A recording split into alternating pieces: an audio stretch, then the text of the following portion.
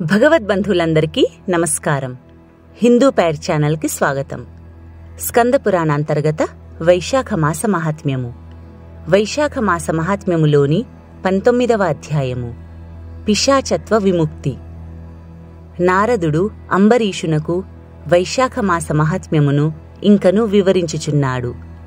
శృతకీర్తి మహారాజు శృతదేవ మహామునికి నమస్కరించి ఇంకను వైశాఖ మహాత్మ్యమును దయ ఉంచి వివరింపగోరుచున్నాను అని ప్రార్థించెను. అప్పుడు శృతదేవ మహాముని ఇట్లనెను రాజా జన్మజన్మల పుణ్యమున్నప్పుడే భగవంతుడగు శ్రీహరి మహిమను వ్రతముల గొప్పదనమును తెలుసుకొనవలెనన్న బుద్ధి కలుగుతుంది. ఇట్టి ఆసక్తి కల నీవు భాగ్యశాలివి. మరెన్నో శుభలాభములు నీకు మున్ముందు కాలమున ఉండుట చేతని నీకు ఇట్టి కోరిక కలిగినది. ఇట్టి నీకుగాక మరెవరికి చెప్పుదును? వినుము.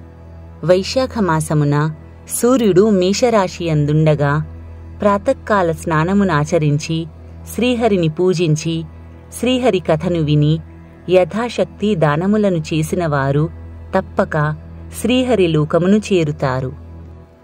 వైశాఖ పురాణమును చెప్పుచుండగా దానిని శ్రద్ధగా వినక మరొక దానిపై ఆసక్తి కలిగిన మూఢుడు అజ్ఞాని. అతడు రౌరవమనే నరకమును పొంది పిశాచమై ఉండును. అందులకు ఉదాహరణగా ఒక కథను చెప్పుచున్నాను. ఈ కథ పాపములను నశింపచేసి పవిత్రతను కలిగించి ధర్మాసక్తిని పుణ్యమును కలిగించును. ఇది మిక్కిలి ప్రశస్తమైన కథ సుమ వినుము. పూర్వము గోదావరి తీరమున బ్రహ్మేశ్వరము అనే పుణ్యక్షేత్రము కలదు.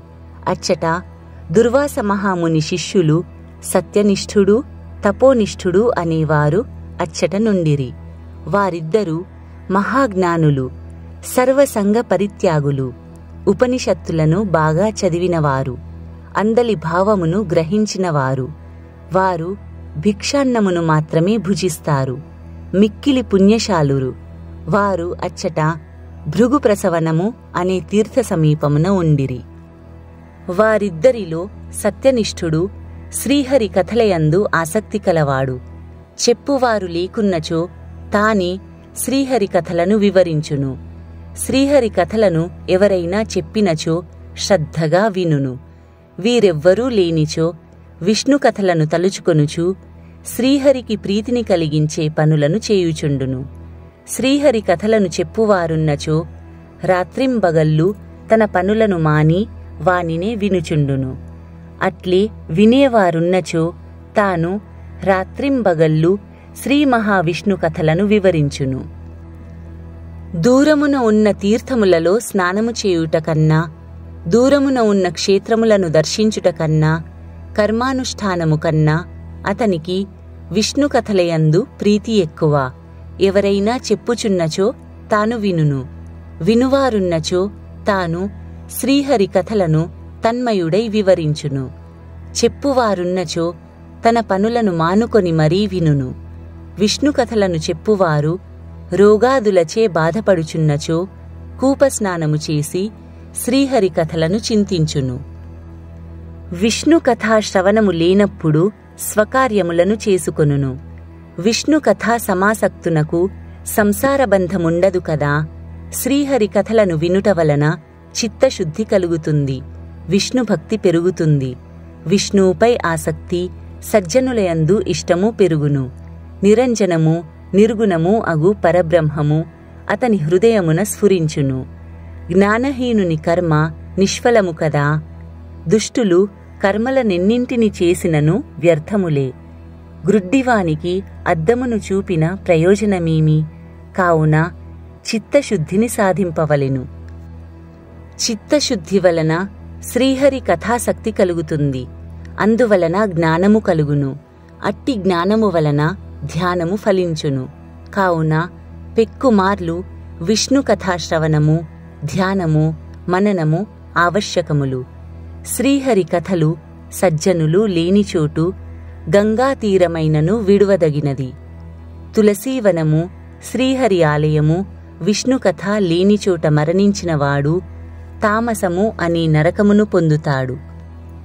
శ్రీహరి ఆలయము కాని కృష్ణమృగము కాని విష్ణుకథ కాని సజ్జనులు కాని లీనిచోట మరణించిన వారు పెక్కు జన్మలయందు కుక్కగా జన్మిస్తారు. సత్యనిష్ఠుడు ఈ విధంగా ఆలోచించి విష్ణు కథాశ్రవణము ప్రసంగము మననము స్మృతి మున్నగునవి ముఖ్యములని తలచును. ఇంకొకడు తపోనిష్ఠుడు. ఇతనికి పూజా జపాది కర్మలంటే ఇష్టము. వానిని ఎప్పుడూ మానక పట్టుదలతో చేయుచుండును. శ్రీహరి కథలను వినడు చెప్పడు. ఎవరైనా చెప్పుచున్నచో తీర్థస్నానమునకు పోవును.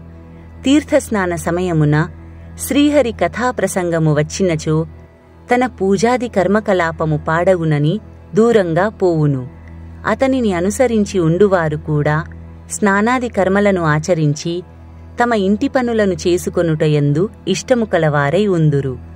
ఇలా ఎంతకాలము గడిచినను తపోనిష్ఠుడు కర్మానుష్ఠానము తప్ప శ్రీహరి కథాశ్రవణము చింతనము స్మృతి మున్నగువానిని ఎరుగడు. ఇట్టి అహంకారి కొంతకాలమునకు మరణించెను. శ్రీహరి కథాశ్రవణము మున్నగునవి లేకపోవుటచే పిశాచమై చిన్నకర్ణుడు అనే పేరున ఉండెను. జమ్మి చెట్టునందు నివసించుచుండెను. బలవంతుడైనను నిరాధారుడు నిరాశ్రయుడు. ఎండిన పెదవులు నోరు కలవాడై ఉండెను. ఇలా బాధపడుచు కొన్ని వేల సంవత్సరముల కాలముండెను. అతని సమీపమునకు వచ్చేవారు లేక మిక్కిలి బాధపడుచుండెను. ఆకలి దప్పిక కలిగి అవి తీరే ఉపాయము లేక మిక్కిలి బాధపడుచుండెను. అతని శరీరమునకు జలబిందువు అగ్నిగాను జలము ప్రళయాగ్నివలెను ఫలపుష్పాదులు విషముగను ఉండెడివి. ఈ విధంగా కర్మపరాయణుడగు తపోనిష్ఠుడు పలు విధములుగా బాధలు పడెను.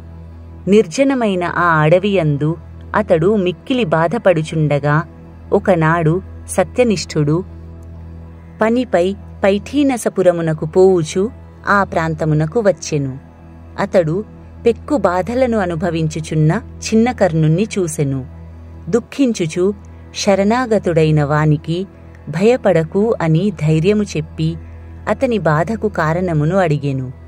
అప్పుడు అతడు నేను తపోనిష్ఠుడు అనువాడను దుర్వాస మహాముని శిష్యుడను కర్మపరతంత్రుడనై శ్రీహరి కథాశ్రవణాదులను చెయ్యనివాడను. మూఢుడనై కర్మలని ఆచరించుట వలన ఇట్టివాడనైతినని తన వృత్తాంతమునంతయు అతనికి చెప్పెను. నా అదృష్టవశమున మీ దర్శనమైనది. నన్ను మీరే రక్షింపవలెనని పలు విధములుగా ప్రార్థించెను. అతని పాదములపై పడి దుఃఖించెను. సత్యనిష్ఠుడు వానిపై జాలిపడెను. తాను రెండు గడియల కాలము వైశాఖపురాణ శ్రవణము చేసిన ఫలమును వానికి సోదకముగా సమర్పించెను. ధారపోసెను. ఆ మహిమ వలన తపోనిష్ఠుని పాపములు తొలగిపోయెను.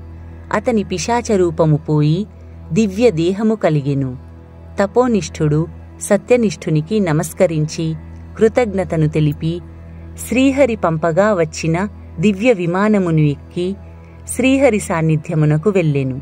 సత్యనిష్ఠుడు కూడా వైశాఖ మాస మహాత్మ్య మహిమకు విస్మయపడుతూ తన గమ్యమగు పైఠీనసపురమునకు వెళ్ళెను. శృతకీర్తి మహారాజా కావున శ్రీహరి కథల ప్రసంగము శవనము మననము స్మృతి మున్నగునవి కలచోటు సర్వతీర్థముల కంటే సర్వక్షేత్రముల కంటే ప్రశస్తమని ఎరుగుము. శ్రీహరి కథా ప్రసంగము గంగా ప్రవాహము కంటే పవిత్రమైనది. గంగా తీరవాసులకు ఇహలోక భోగములు ముక్తి కలుగునో లేదో కాని శ్రీహరి కథ అనే గంగాతీరవాసులకు ఇహము పరము నిశ్చితములు సుమా అని శృతకీర్తికి శృతదేవుడు భగవత్స్వరూపమును ఈ విధంగా వివరించెను.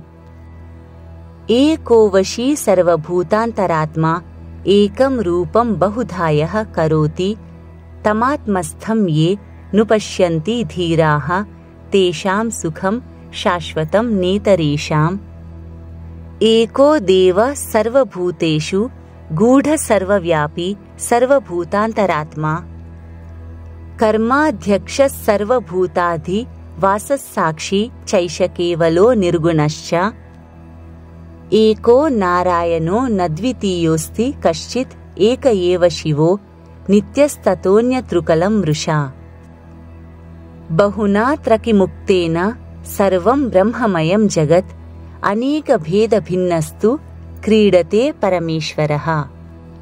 అని శృతదేవుడు శృతకీర్తికి భగవంతుని తత్వమును వివరించెను అని నారదుడు అంబరీషునకు చెప్పెను.